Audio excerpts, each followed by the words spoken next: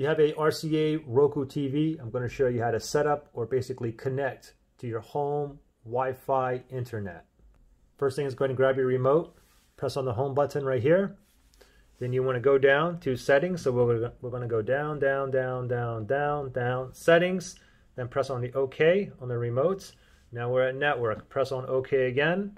And now you, I want you to go down to setup connection and then click on OK. And then we're going to do wireless. Then click on OK again. Now from here, go ahead and look for your Wi-Fi internet. Mine is right here. So I'm going to highlight that. I'm going to click on OK.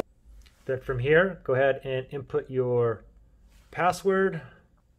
Once you put in your password, you want to go ahead and go down, highlight connect, press on OK on the remote. Give it one second. I think that's, yep, that's the right password. I'm good to go. Pretty simple. Good luck.